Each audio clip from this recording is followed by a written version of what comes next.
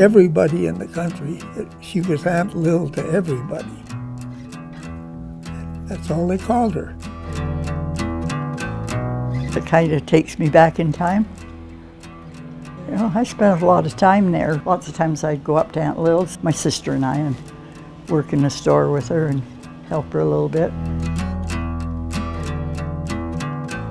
It's a time capsule right from the day it opened in 1900 until it's closed in 1963. There's something from every year that you could find in there that, that was sold in that store. When I walked in, I thought, oh my, this is what you see in old time movies. This is, this is what it looks like back in history.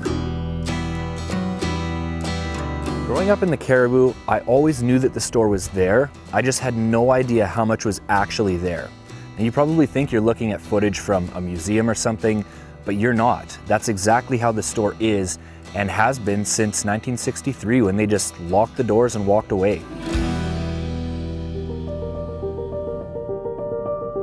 Ever since I was a kid, all I wanted to be was an explorer. Sail the seven seas, find new worlds. But Uncle D, everything's already been found. What? Like everything? Well, yeah. Oh, man. Well, so much for that. But if I can't be an explorer, I can still be an adventurer. So I bought a motorhome and I'm hitting the open road. My name is Dustin Porter, and this is Destination Adventure.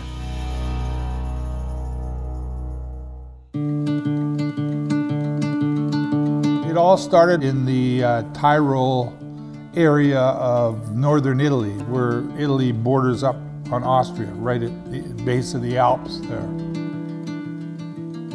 He had had an uncle who had come out to search for gold, and he had letters from his uncle.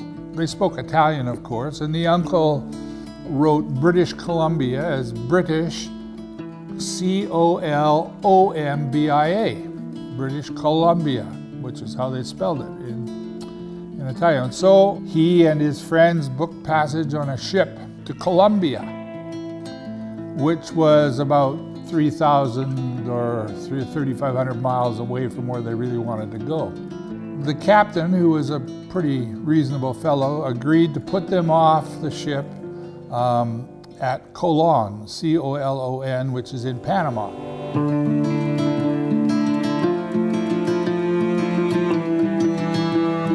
They had no money, they had no way of getting where they were going, and so um, they went to work uh, digging the Panama Canal. Anyone who knows about the Panama Canal knows about the uh, conditions. They were just atrocious, and uh, yellow fever, and dysentery, and malaria. They all got really sick. I don't know what the disease was, probably diphtheria or something like that.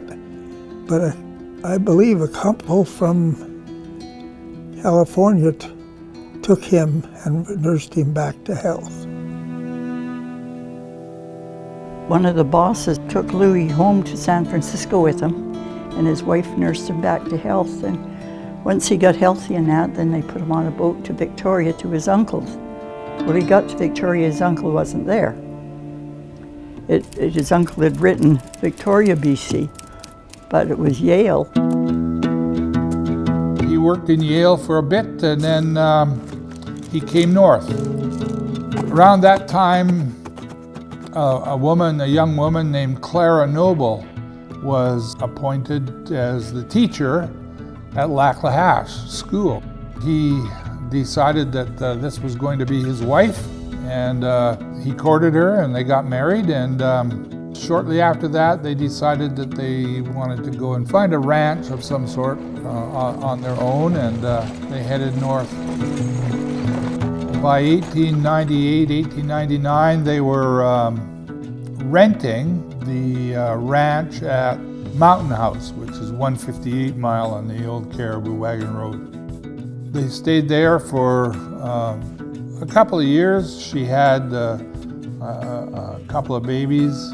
They left the 158 mile and uh, they, he knew about the land at 153 and it was really nice land as far as he was concerned and so he preempted 160 acres, and uh, started uh, working the land. Because the place was uh, on the road out to uh, Soda Creek and out to Likely and out to Horsefly, uh, there was a fair amount of wagon traffic, freight traffic, uh, people stopping by, and so inevitably people came and said, "Can we stay the night?" Because of the number of people that were stopping and, and asking if they could uh, stay the night, they ended up building uh, a, a, large roadhouse, 153 mile roadhouse. The bottom part had uh, quarters for the family and then some rooms for people to stay in. And the top part was one big room that was for the uh, freighters, uh, the drivers. It was sort of a dorm room.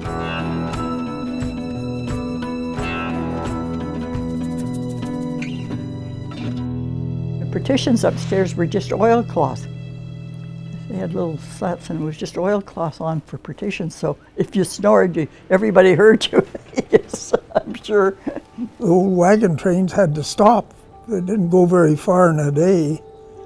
And so everybody wound up with beds and, and feeding them. And she had a reputation of one of the best tables on the road. When they moved into the, the 153 mile roadhouse, um, they kept that little building and made it the store. And that was the first store. And so gradually the 153 mile store came about. I think in 1915, uh, that little store was too, far too small, and they ended up building the present building, which, which you see there today. That store uh, served this area. It was it was the, the place. You could get anything there. If you couldn't get it, they'd order it for you. And it was well used by the people of 150 Mile, which was the center of commerce and um, governance for the whole area. They used the, the 153 Mile store. It was the place to go, place to gather, place to socialize, place to buy things. It was, it was the place.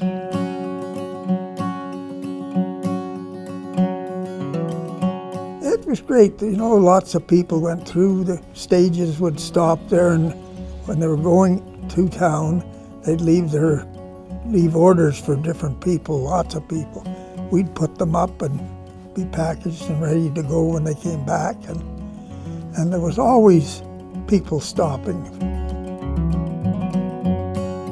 That store served this area really well uh, until Clara's daughter, who was running it then, died right there behind the counter. She died, and uh, they closed it down and never touched it since.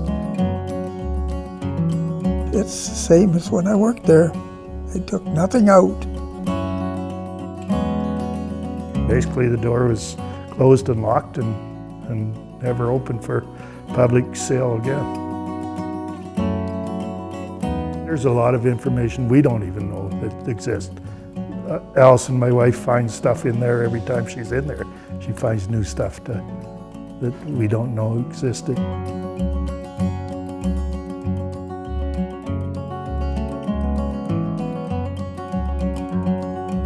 When you walk in there, it's like a step back in time. It's just like it was in the 1900s. Uh, just unbelievable, the, the kinds of things that you can find there the, the, the clutter, the, uh, the old stoves, the old equipment, everything is just the way it was uh, you know, in the early 1900s, and it's just a remarkable place. You guys ready to take a look in the store? Let's check it out. I've been filming in here the last few hours. Just want to take you for a tour and show you some of the amazing stuff I'm finding in here. First of all, just look how full this place is. Unbelievable.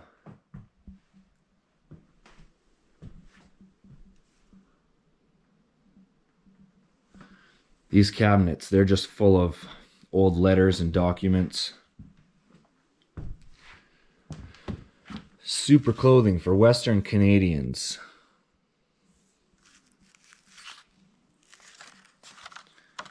Fancy. A lot of the bigger stuff that they didn't actually stock in store, you'd order from a catalog like this. This one's from 1904. Be very careful.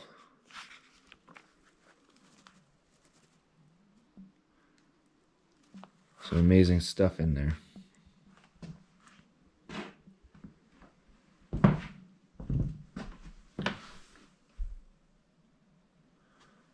Life magazine, November 21st, 1949. 20 cents for that.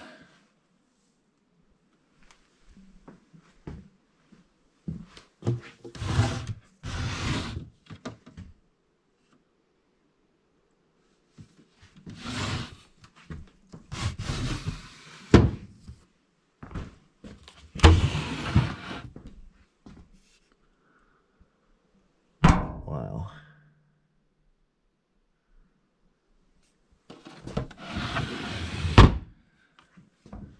One really crazy thing that I found is uh Lil died in here August of 1963. And the calendar here is still on August 1963. So let's start in the corner here. This cabinet full of men's shaving stuff.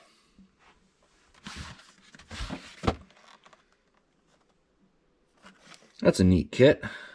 Two of them there.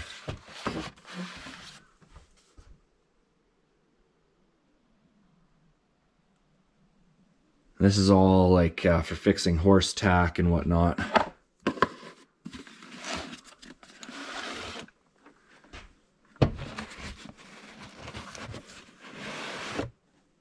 It's full of buckles. Unsold.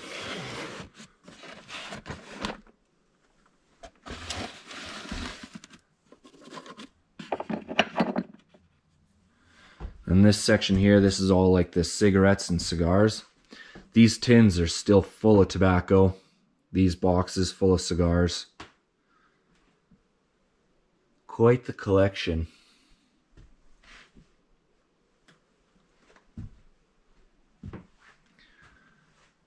Copenhagen chewing tobacco.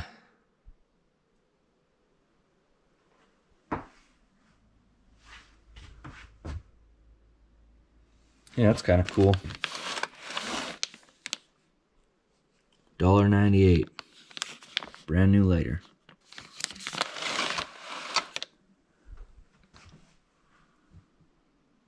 I'm really curious what this uh, Chinese stuff would have been. Not sure.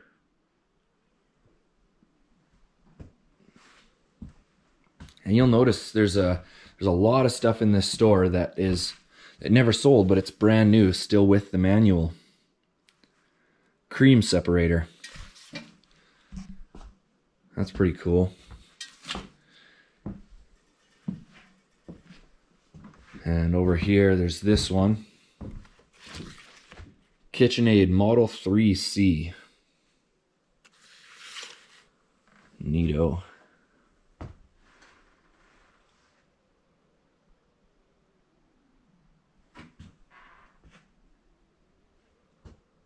Pocket cutlery. Hmm.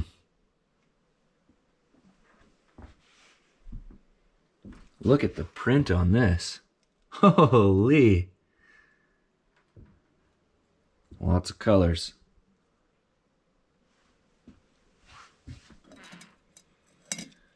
Replacement filler. It's for the inside of a thermos. Oh, 1940.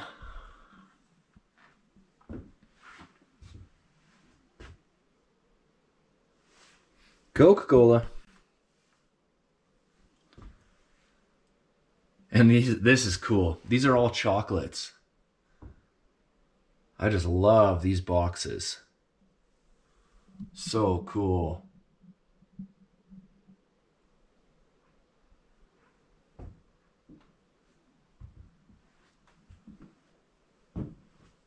Some egg scale. That's pretty fun. Wow, look at the spices.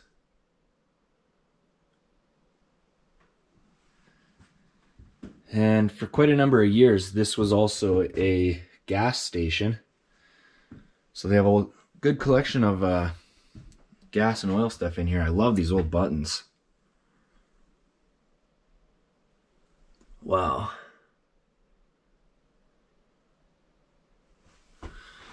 That's pretty amazing. The oil's still in there.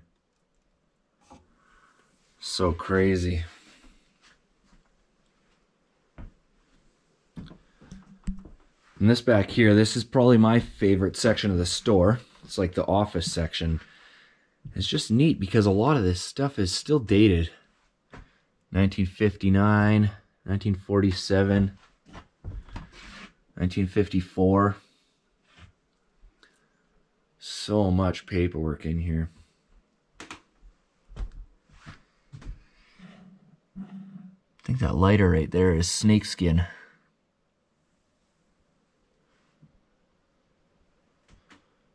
Wow. The old safe still says Christina on it. Amazing.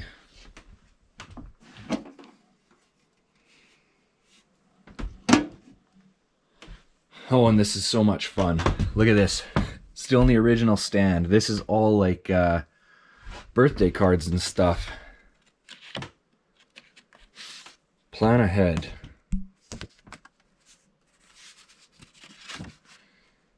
Happy next anniversary too. That's a fun one. Another birthday. It happens to everyone. Time wounds all heals. I don't know. Maybe like the heel of a boot. Don't quite get that one.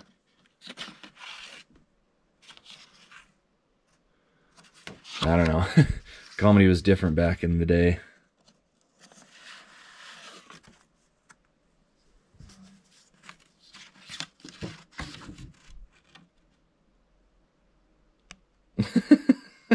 oh god.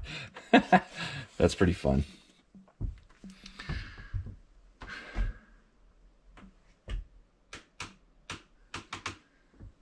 We come around the corner here, I like this. This is a wooden bird cage. Never see that again. Maybe alarms or something? Not sure what those are. Oh, they're telephones. Wow. That radio still has the manual. That's pretty cool. Old Morse telegraph.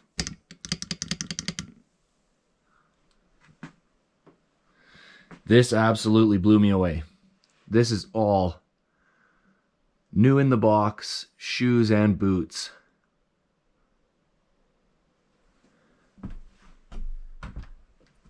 Flashlight section.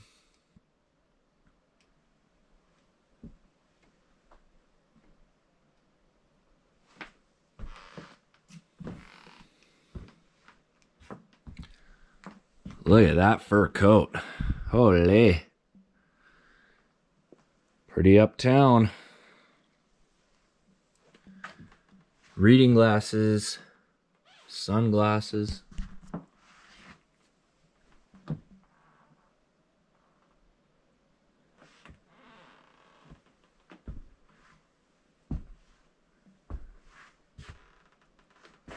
It's pretty amazing. They got all this stuff custom made for the store. 1934 on that one.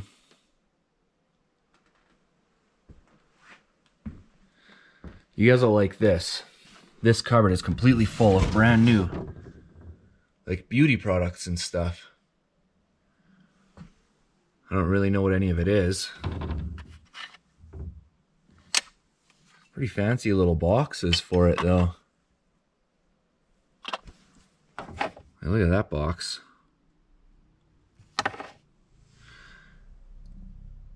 pretty wild. It still smells super good in here.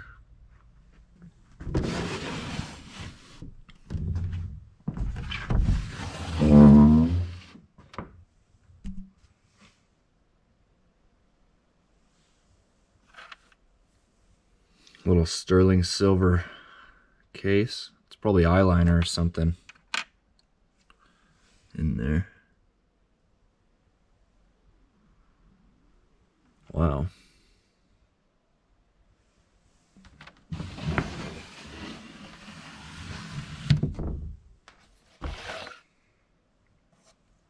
Violet powder.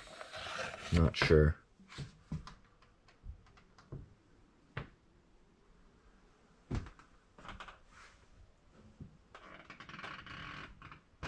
This corner over here is pretty fun.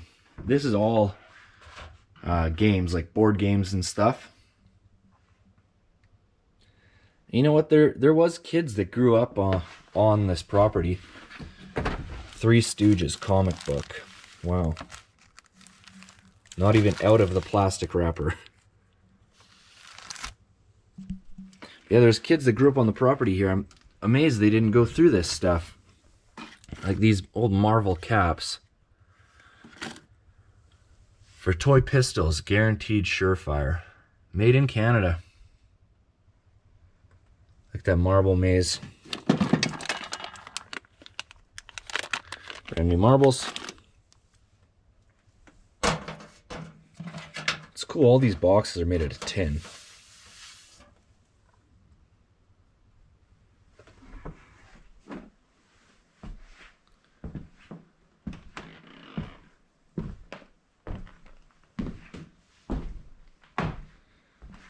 This is all Halloween stuff.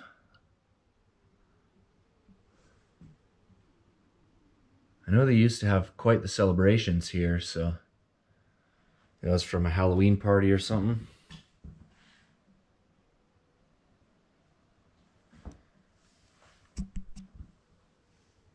There's quite a lot of camera stuff in here.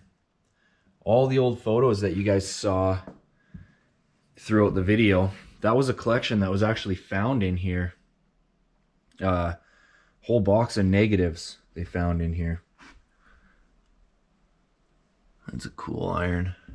Be gas powered or something. Lots of sewing stuff in here. This is pretty amazing.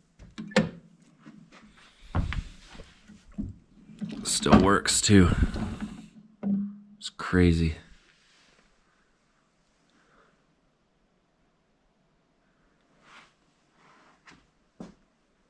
This cabinet here, it's full of uh, corsets and jewelry.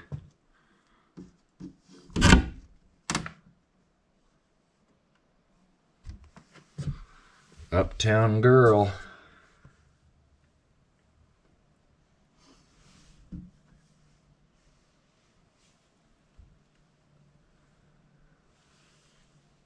Wow.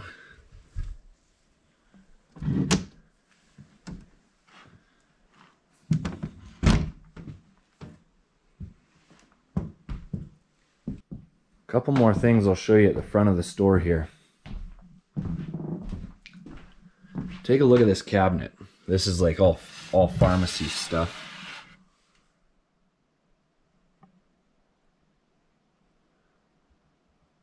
It's a huge amount of stuff in there. I don't know what a lot of this stuff is, really.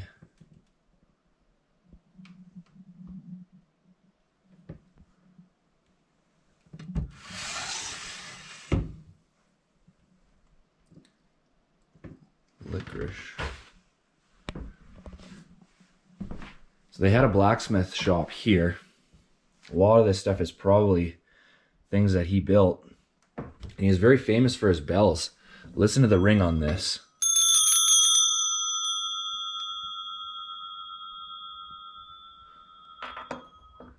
Beautiful. And this, I think, is my favorite spot. Look at this. This is all the store books from the day it opened. Everything bought, everything sold. Look at this one. 1899 to 1910. That book alone. I'm not going to open those because they're so old and fragile. Obviously very irreplaceable. But my first visit here, Allison was nice enough to to show me through some of these books, and it's amazing. In elementary school, we're taught about the the people that started and built the city of Williams Lake, and you can see their names in that book, signed off what they bought, what they ordered. Just crazy to see that. Thank you all so much for checking out this video. I hope you enjoyed it. I hope you learned something. And a very special thank you to all of my patrons that help make these adventures and these videos possible. I've noticed a big boost on the Patreon page lately and I really appreciate that. And I have a whole bunch of bonus content coming onto the Patreon page from this video because a lot of stuff happened that didn't quite fit the storyline of the video, but I still really want to share it with you guys. Um, there's sections of the store that never made it into the video, and a couple of the interviews. I want to just share the, the complete interview. Uh, there's a lot of really interesting information in there, both historically and just, in my opinion, life wisdom. I really enjoyed chatting with everyone about this video, and I can't wait to share it with you guys. As always, take nothing but pictures, leave nothing but footprints, and I'll catch you on the next one.